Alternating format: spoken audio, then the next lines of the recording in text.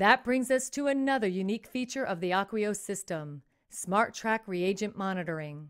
AQUIOS comes with a whole line of reagents and consumables, all of them barcoded. When the reagents are loaded onto AQUIOS, the system automatically scans them in order to track which reagents are on board, the lot number, open and closed vial expiration dates, and how many tests are left in each vial.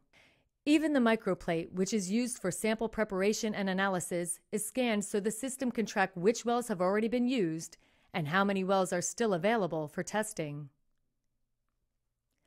As each sample passes through the unit, the system continually tracks reagent usage by product, ensuring the correct reagents are mixed with each sample. This real-time monitoring helps to prevent the system from running out of reagents or inadvertently using expired reagents.